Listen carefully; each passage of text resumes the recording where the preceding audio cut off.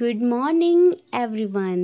Welcome to my YouTube channel exam hunt तो guys कैसे हैं आप सभी और आप सभी की पढ़ाई कैसी चल रही है? कमेंट करके हमें ज़रूर बताइएगा। और अगर वीडियो पसंद आए तो शेयर भी कीजिएगा। आज की हम करंट अफेयर की सीरीज़ को स्टार्ट करने से पहले कल का क्वेश्चन देखेंगे और फिर हम अपनी आज की करंट अफेयर की सीरीज़ को स्टार्ट करेंगे। तो चलिए देखते हैं आज कल का प्रश्न। तो गाइस कल का प्रश्न है, श्रमिक दिवस कब मनाया जाता है? वैन श्रमिक श्रमिक स्मृति दिवस इज़ सेलिब्रेट पहला ऑप्शन है 22 अप्रैल को और दूसरा ऑप्शन है 24 अप्रैल को। तीसरा ऑप्शन है 25 अप्रैल को और चौथा ऑप्शन है 28 अप्रैल को। तो जी हाँ गाइस इसका राइट आंसर है 28 अप्रैल को। 28 अप्रैल को स्मृति दिवस मनाया जाता है। तो चलिए आज की सीरीज़ को हम स्टार्ट करते हैं। तो आज का पहला क्वेश्चन है वर्ल्ड इनोवेटर अवार्ड पाने वाली पहली भारतीय महिला कौन बनी? Who become the first Indian women to receive the world innovator award A option है दामनी आलवी, बी ऑप्शन है नित्यनया राव राव, सी ऑप्शन है कृतिकरंत और डी ऑप्शन है इनमें से कोई नहीं नन ऑफ़ दीज तो जी हाँ गाइस इसका राइट आंसर होगा ऑप्शन नंबर सी कृतिकरंत। तो आइए हम इसके बारे में कुछ महत्वपूर्ण बातें जानते हैं। बेंगलुरु स्थित centre for world life studies की वैज्ञानिक डॉक्टर कीर्ति करंत को वर्ष 2021 के वर्ल्ड इनोवेटर अवार्ड से सम्मानित किया गया है। इसी के साथ वह वर्ल्ड इनोवेटर अवार्ड पाने वाली वह पहली भारतीय और एशियाई महिला भी बन गई हैं। World innovator award wild life में लोगों के अहम कार्यों और पर्यावरण से संरक्षित करने के लिए हर साल प्रदान किए जाते हैं। गाइस, अगर आपको कहीं भी कन्फ्यूज़न हो तो आप हमसे कमेंट करके पूछ सकते हैं। आज का दूसरा क्वेश्चन है, किस देश ने robot prototype N E O zero one clear space debris launch किया?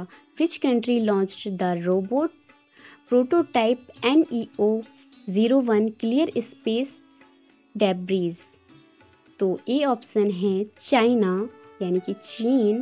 बी ऑप्शन है रूस। सी ऑप्शन है जापान और डी ऑप्शन है। इनमें से कोई नहीं नन ऑफ़ दीज तो जी हाँ गाइस इसका राइट आंसर है चीन, यानी चाइना। तो आइए इसके बारे में कुछ महत्वपूर्ण बातें देखते हैं। चीन सरकार ने लॉन्च मार्च 6 रॉकेट की मदद से पृथ्वी की कक्षा में N E O zero one नामक robot prototype clear space debris launch किया है।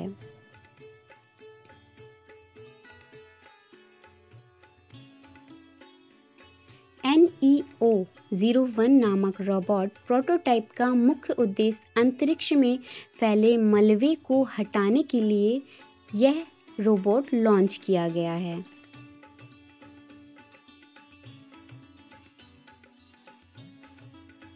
तीस किलोग्राम के N E O zero one नामक robot clear space debris prototype को सिनजीन स्थिति अंतरिक्ष खनन स्टार्टअप ओरिजन स्पेस पर विकसित किया गया है। गाइज़ अगर आपको कहीं भी कंफ्यूजन हो तो आप हमसे कमेंट करके पूछ सकते हैं। तो चलिए हम अगले क्वेश्चन की तरफ़ चलते हैं। अगला क्वेश्चन है सीमा सड़क संगठन बीआरओ की पहली महिला कमांडिंग अधिकारी कौन बने? Who become the first women commanding officer of border roads organisation BRO तो ए ऑप्शन है।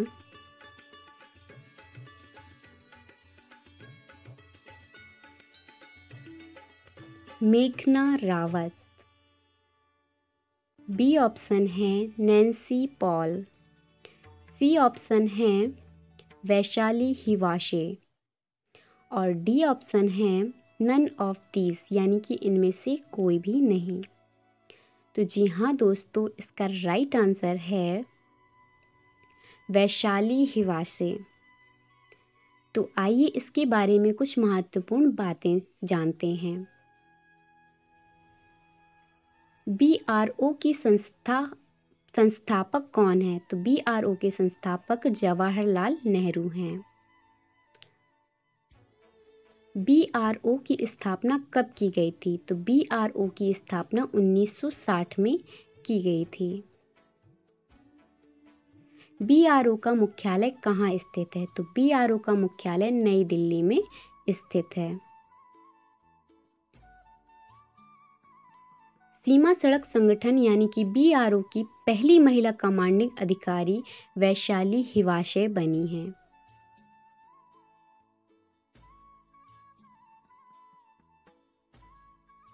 जिन्हें भारत चीन सीमा के साथ आगे कनेक्टिविटी प्रदान करने की ज़िम्मेदारी दी गई है।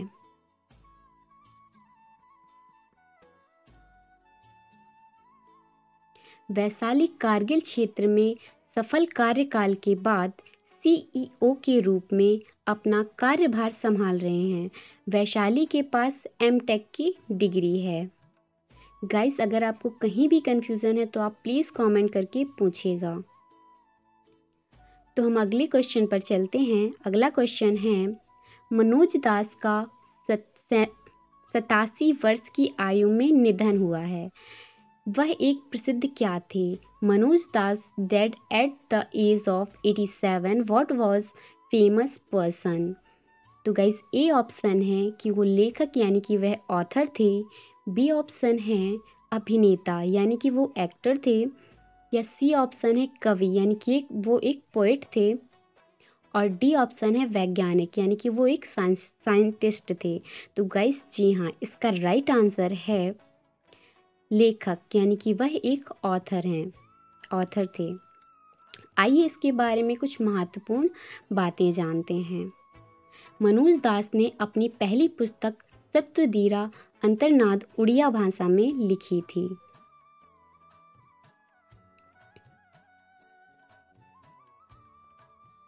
यह पुस्तक उस समय प्रकाशित की गई थी जब वह हाई स्कूल में पढ़ रहे थे।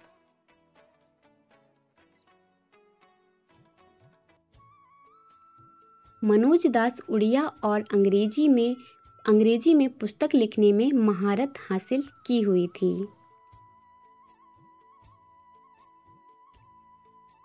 मनोज दास को साहित्य एवं शिक्षा के क्षेत्र में योगदान हेतु उन्हें वर्ष 2001 में पद्मश्री और 2020 में पद्म भूषण सम्मान से सम्मानित किया गया था।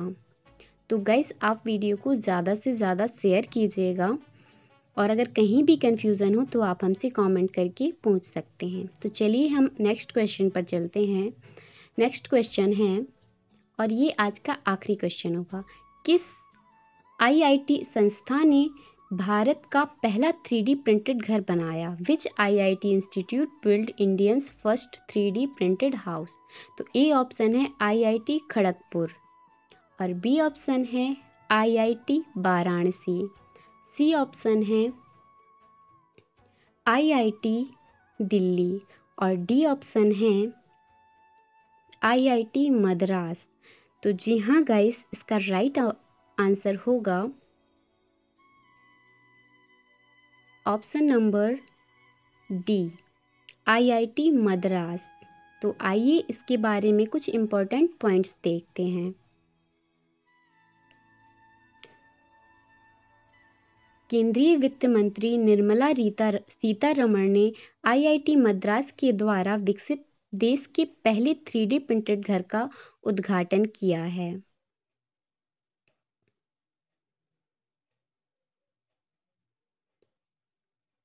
आईआईटी मद्रास के छात्रों ने केवल पाँच दिनों के अंदर ही इसी थ्री प्रिंटेड मकान को विकसित किया था।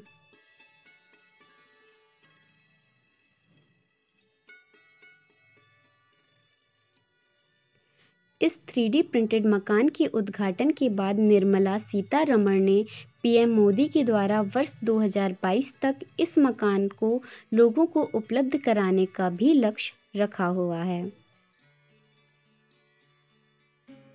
तो गाइज़ अगर आपको कहीं भी कन्फ्यूज़न हो तो आप कमेंट करके पूछेगा और आज का एक स्पेशल क्वेश्चन है जो आपको कमेंट करके बताना है।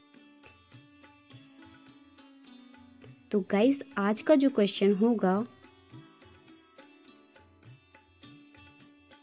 आज का प्रश्न है,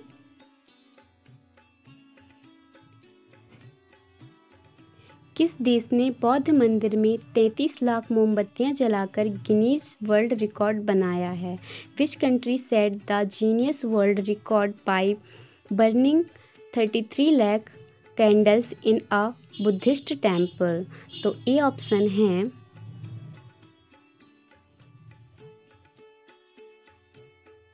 हांगकांग,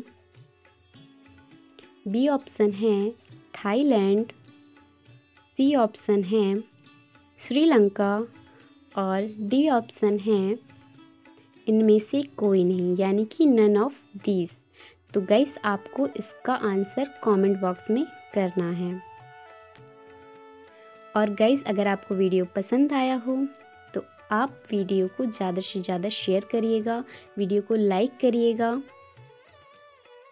वीडियो को शेयर भी करिएगा और अगर वीडियो पसंद आए तो सब्सक्राइब भी करिएगा। अगर आप हमारे सोशल मीडिया हैंडल से नहीं जुड़े हैं तो आप हमें फेसबुक पर फॉलो कर सकते हैं।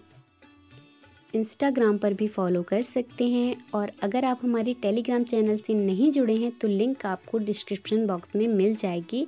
आप जल्दी से जुड़ जाइएगा। तो गाइज़ आज के लिए बस इतना ही। Thank you so much have a good day bye bye